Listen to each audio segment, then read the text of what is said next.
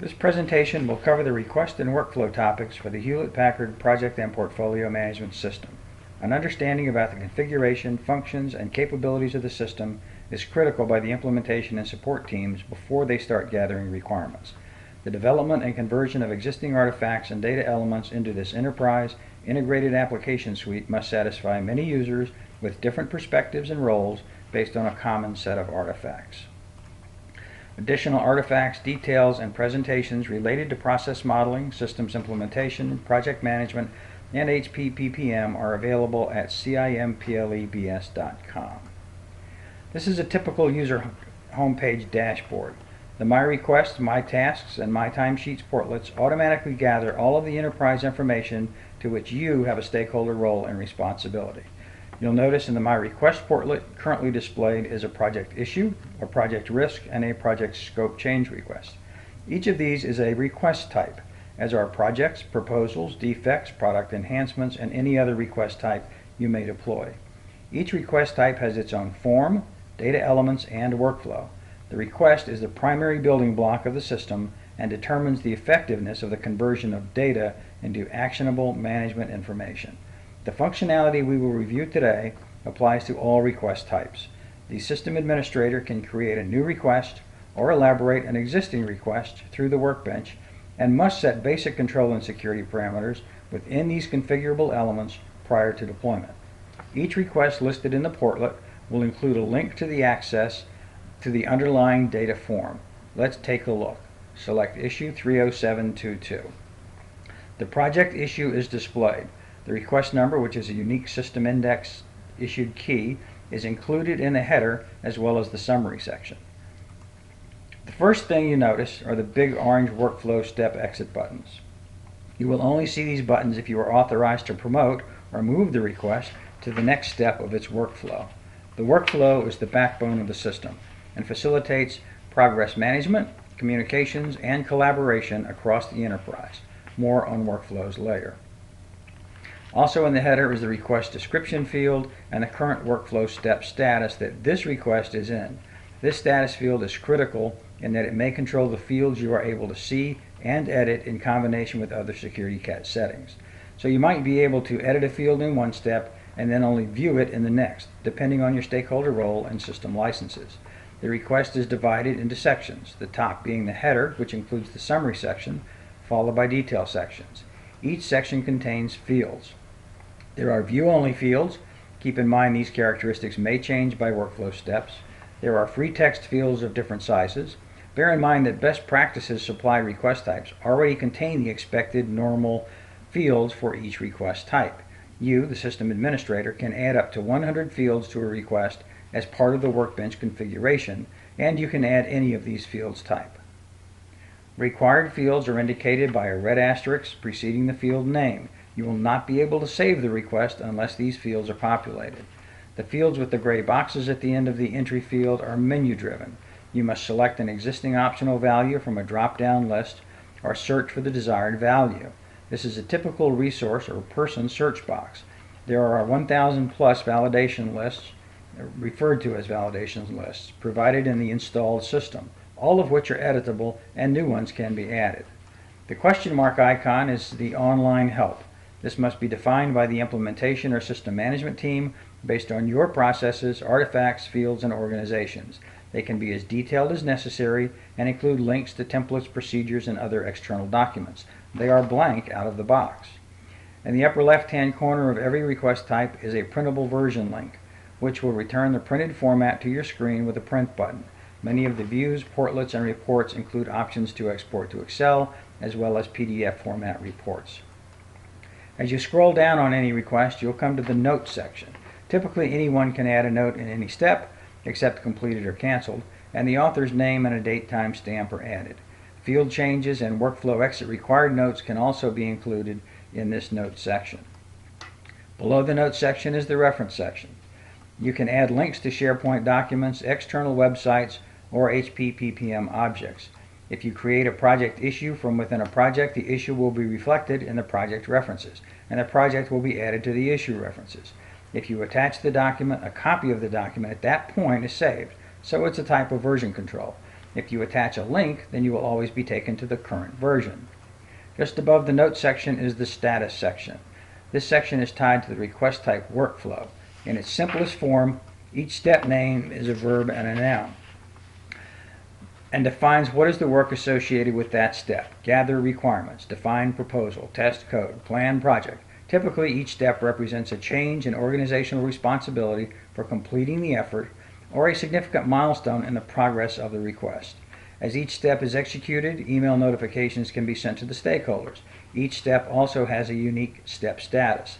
This name should reflect the objective of the step or the state of the request, like high-level estimation, enterprise prioritization, resource planning. This is one of those fields that has lots of built-in design behavior and functionality.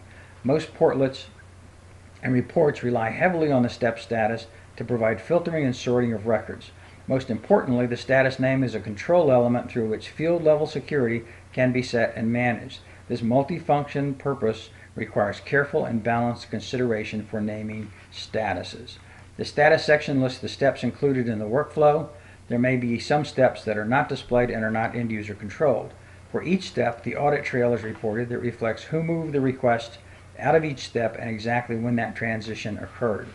The graphical review link at the bottom of the section will reveal the complete workflow and reflects the progress and audit trail information as well.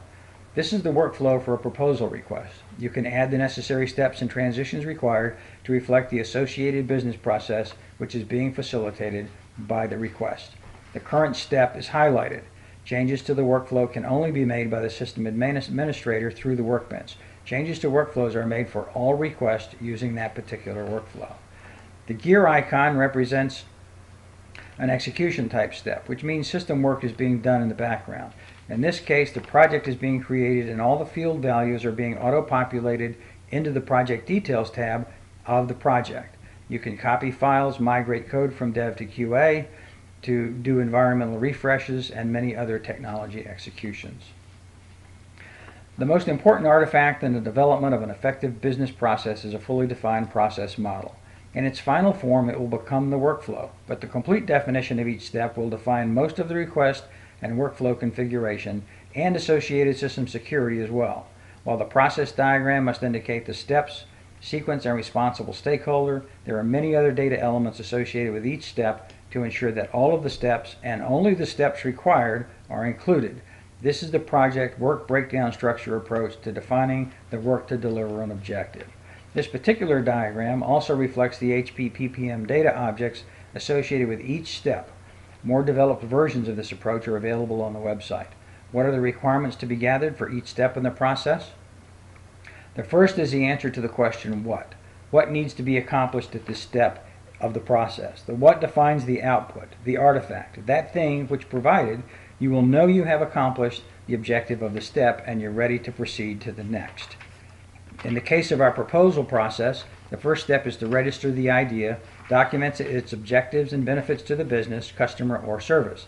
Concurrently, you need to identify all of the stakeholders that will be impacted by the change, either implementing the change or affected by the new process, service, or product. The second requirement is the answer to the question why. The first two questions must be developed concurrently for each step. Why do we need to do this activity? Again, this is a question related to the business process, not the content not the proposal at this point, but the registration of any proposal. Why are you defining the idea, its value and benefits, and who is involved and impacted in order to bring the idea into existence? The answer to the question why can always be validated in a subsequent step. If you have to do it in order to complete the process effectively and efficiently, then the step is justified. If the output, information, and or decisions have no bearing on the completion of the process, then it's not a valid step.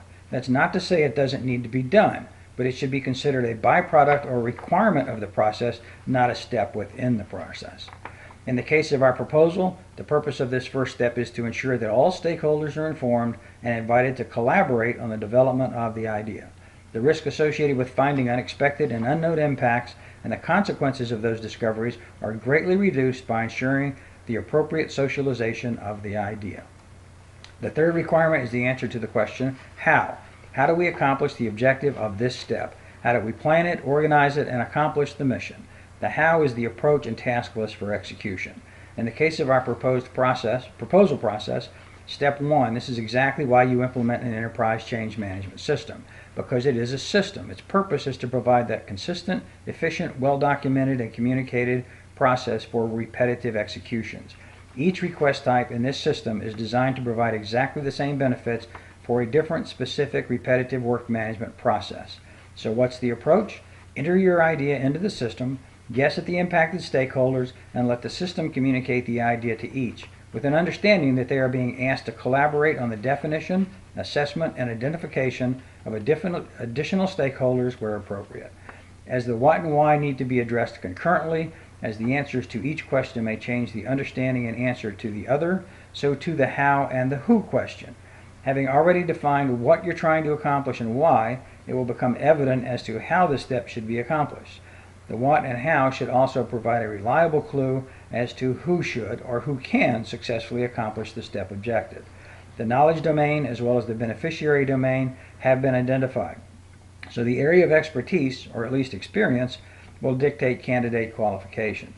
For our proposal process, first step, the who would typically be the proposal sponsor. Whose idea is this? They obviously know something about the opportunity or problem. That's not to say that they own the definition, management, or any other step of the process. Each step in each process must have someone, an individual by name or process stakeholder role, responsible for the successful completion of the step. Each new step may, and probably should, have a new responsible party. Or perhaps there's not really two steps.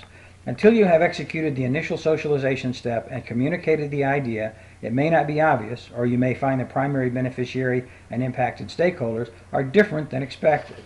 The last question, although not the last requirement for our purposes, is the when. We've already established we need to do this, and that it precedes some downstream utilization of the stepped product or deliverable. But do we need to do it now, or can it wait? Is there a cost for waiting? Should it be done concurrently with some other step? like the network diagram of deliverables to determine the appropriate sequencing of tasks within a project schedule, process steps should be sequenced and synchronized to minimize the overall effort where possible. Don't do work you don't need to do. And do not create new work. For some process steps, the when will be obvious. For our proposal, it's not a proposal and no one knows about it until it is registered. If you start the next step before finishing this one, your risk of efficient success is lowered. The time frame and throughput are increased greatly, and the risk of missing significant stakeholders goes up as well. There will be processes with multiple concurrent paths. The first objective is to do no unnecessary work. The second should be to do no work earlier than necessary. This is the just-in-time approach. While this may not be intuitive, in the world of change management, everything is changing constantly. The effort you spend detailing a solution that will be implemented in six months is very likely to change before you start the implementation.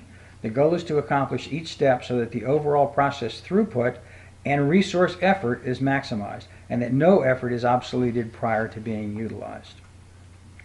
Thank you for reviewing this presentation on the foundations, requests, and workflows of the Hewlett-Packard Project and Portfolio Management System.